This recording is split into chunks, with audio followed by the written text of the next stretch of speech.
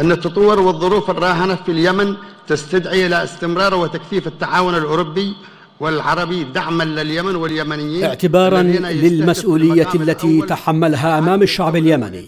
كان لفخامة الرئيس المشير الركن عبد ربه منصور هادي بصمة تصدرت المشهد في العام 2019 على جميع الأصعدة والمجالات. سواء على الصعيد المحلي من حيث متابعة أوضاع وخدمات المواطنين أو سير العمليات العسكرية ضد ميليشيا الحوثي الإنقلابية أو الترتيبات الإدارية التي أجراها لتحسين أداء السلطات المحلية في بعض المحافظات أو تجاوز الصعوبات التي حدثت في العام الماضي محاولا منع أي ضرر ضد أبناء الشعب في جميع محافظات الجمهورية. فعلى المستوى الخارجي كان له العديد من اللقاءات مع ممثلي الهيئات الأممية والمنظمات الدولية وقادة الدول المهتمة بالشأن اليمني. بحث خلالها التطورات على الساحة الوطنية ونقل خلالها المعاناة التي تسببت بها ميليشيا الحوثي الانقلابية المدعومة من إيران. وفي ذات السياق يتوجب على هذه القمة الوقوف بحزم أمام التدخلات والإطماع الإيرانية في الشؤون العربية. وبالتحديد منها التدخلات الإيرانية السافرة في اليمن. وعلى المستوى المحلي اتخذ فخامة الرئيس إجراءات لمواجهة الأزمة الاقتصادية التي مرت بها البلاد. وأصدر قرارا بتشكيل لجنة اقتصادية مهامها منع تدهور العملة الوطنية أمام العملات الأجنبية. وعين محافظا للبنك المركزي موجها بضرورة إعادة التوازن للعملة. وعلى المستوى الحكومي أجرى فخامة الرئيس تغييرات حكومية شملت العديد من الوزارات. وحرص على تفعيل المؤسسات التشريعية من خلال دعوته مجلس النواب لعقد دورته غير الاعتيادية والتي عقدت بحضوره بمحافظة حضرموت وتم انتخاب رئيسا للمجلس ونوابا له. وعلى هامش انعقاد مجلس النواب في حضرموت رأس فخامة الرئيس اجتماعا للقيادات العسكرية والأمنية بحضرموت عبر فيه عن تقديره وامتنانه للجهود التي تبذلها المؤسسة العسكرية والأمنية في الوادي والصحراء في سبيل استتباب الأمن والاستقرار. حرص فخامة الرئيس على تحسين أداء السلطات المحلية في بعض المحافظات حيث قام بتعيين محافظين ومدراء أمن لمحافظات تعز وشبوة وعدن وحثهم على بذل مزيدا من الجهود لخدمة المواطنين وتأسيس دعائم العدالة والمساواة والأمن والاستقرار. كما عقد اللقاءات الدورية بالحكومة وقيادات السلطة المحلية من كل محافظات الجمهورية وقيادات مؤسسات الدولة الاقتصادية والأمنية والقضائية والعسكرية. وفي معركة اليمنيين الكبرى ضد ميليشيا الحوثي الإنقلابية تابع فخامة الرئيس الانتصارات والمعارك التي يخوضها أبطال الجيش الوطني أولا بأول. وعين قادة عسكريين في مراكز ومناطق عسكرية مختلفة حثا أبنائه المقاتلين على الثبات ومواصلة النضال الوطني حتى يتحقق النصر المبين. ومع الأحداث الطارئة التي حدثت في عدن تعامل فخامة الرئيس هادي بحكمة الحريص على دماء أبناء الوطن. بمساندة أخيه خادم الحرمين الشريفين الملك سلمان بن عبد العزيز الذي دعا كل الأطراف إلى مشاورات استمرت لشهرين متتاليين.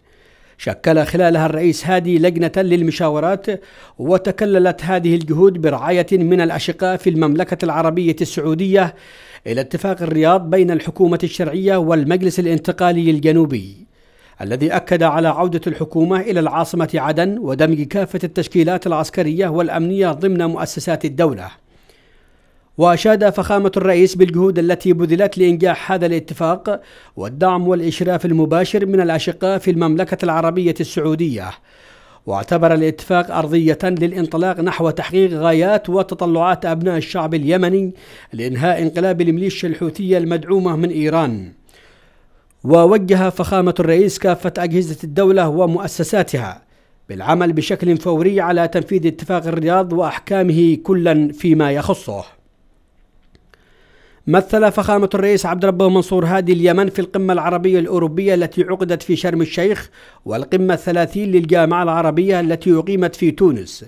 أشار فيهما إلى حجم الكارثة التي حلت باليمن والمنطقة نتيجة لانقلاب الميليشيا الحوثية المدعومة من إيران.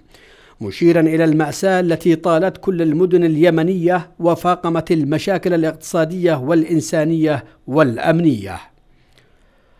وكانت لفخامة الرئيس مشاركة في أعمال القمتين العربية والإسلامية في مكة.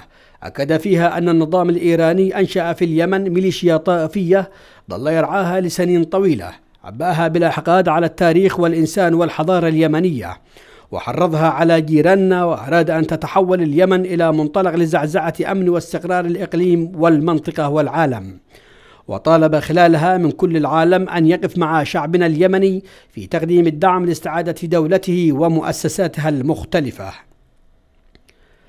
وكان للرئيس عبد ربه منصور هادي مواقف ثابتة أكدها للمبعوث الأممي إلى بلادنا والوفد المرافق له بالوقوف على آفاق السلام ومستجداته وإمكاناته المتاحة ومسار اتفاق ستوكهولم مؤكدا على تمسك الشرعية بمسار السلام. باعتباره هدفا وخيارا تعمل الحكومة دوما من أجله وفي مختلف المواقف والظروف لأن الصراعات والحروب تفضي في النهاية إلى الجلوس على طاولة الحوار من أجل السلام. كما جدد موقفه الدائم تجاه السلام وتحمله العديد من التحديات والصعاب في سبيل تحقيق ذلك الهدف لمصلحة اليمن وطنا ومجتمعا.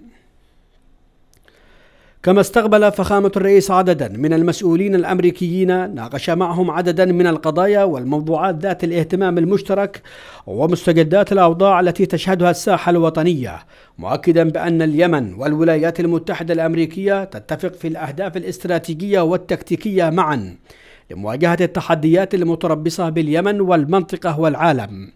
مشيرا إلى عمق العلاقة المتينة والتعاون بين اليمن والولايات المتحدة الأمريكية في مختلف المجالات والظروف ومنها التنسيق والتعاون العسكري والشراكة الاستراتيجية لمواجهة الإرهاب والتدخلات الإيرانية بالمنطقة وتأمين الملاحة وإنهاء انقلاب الميليشيا الحوثية الإيرانية وفق المرجعيات الثلاثة المتمثلة بالقرارات الدولية والثوابت الوطنية. وطوال العام استقبل فخامة الرئيس هادي عددا من سفراء الدول المعتمدين لدى بلادنا وناقش معهم عددا من الموضوعات المشتركة وسبل تطويرها وتعزيزها في مختلف الجوانب. والأوضاع على الساحة اليمنية وآفاق السلام الممكنة والمتاحة مشيدا بالدور الإيجابي لبلدانهم إلى جانب بلادنا في مختلف المراحل والظروف. لا سيما خلال هذه المرحلة الراهنة مثمنا دعم بلدانهم المقدم لليمن في مختلف المجالات. طوال عام كامل بذل فخامة الرئيس عبد ربه منصور هادي جهودا كبيرة على جميع المستويات والأصعدة المختلفة. رسخ من خلالها عقيدته وإصراره القوي لبناء اليمن الاتحادي الجديد. وهي إضافة إلى رصيد رمز اليمن وقائدها الشرعي الأول طوال سنوات توليه السلطة وقيادة سفينة الوطن للوصول بها إلى بر الأمان. أقف أمامكم اليوم. للمرة الخامسة منذ انقلاب القاسم الذي نفذته ماليشيا الحوثية المدعومة إيرانيا على الشرعية اليمنية والتوافق الوطني ومخرجات الحوار الوطني ومسودة الدستور الاتحادي الجديد. لا أذكركم مجددا بحجم المأساة التي يواجهها شعبنا.